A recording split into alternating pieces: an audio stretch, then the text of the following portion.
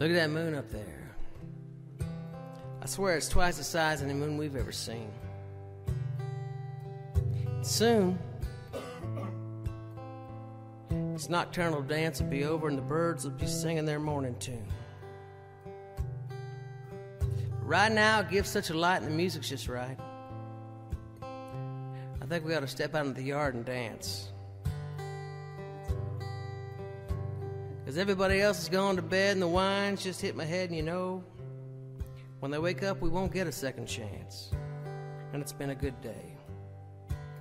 Like a Sunday. And I don't mean like Sunday, the, the weekday, I'm talking like a big old bowl of ice cream. And every Sunday deserves a cherry on top, and right now a dance would surely stop the world from spinning and suspend us both in a dream. Maybe not. Hell, it's worth a shot. So I really think we ought to steal this moment for just us two. Hold each other ever so closely and sway slowly in a circle, like only two kids at their eighth grade dance would do. Or we could role play a little bit because I know you're into it. and in this skit, You'd be the cheerleader that never will give me the time of day.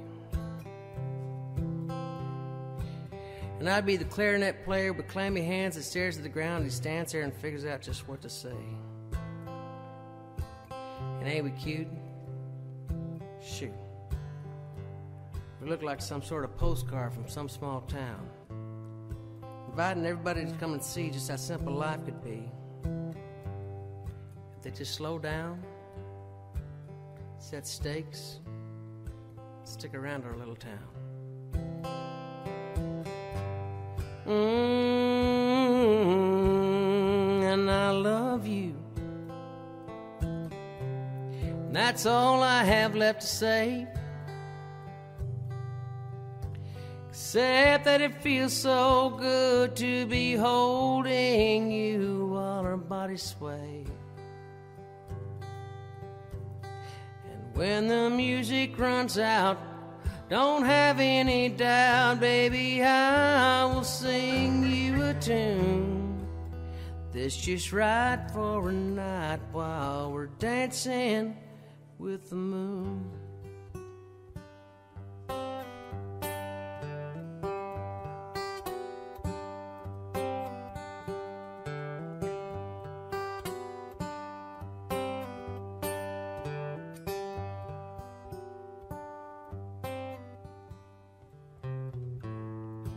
Tell you something else about the moon.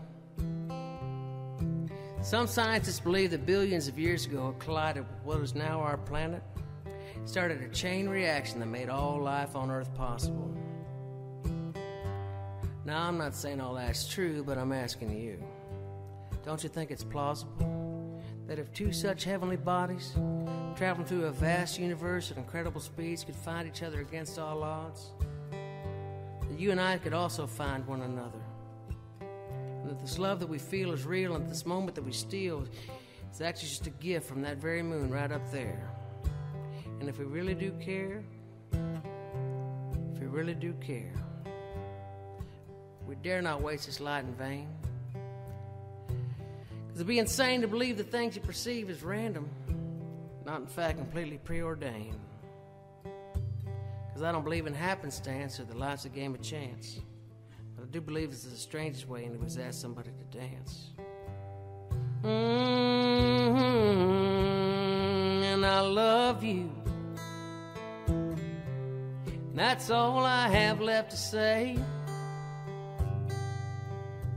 Except that it feels so good to be holding you while our bodies sway. And when the music runs out. Don't have any down, baby. I will sing you a tune that's just right for a night while we're dancing with the moon.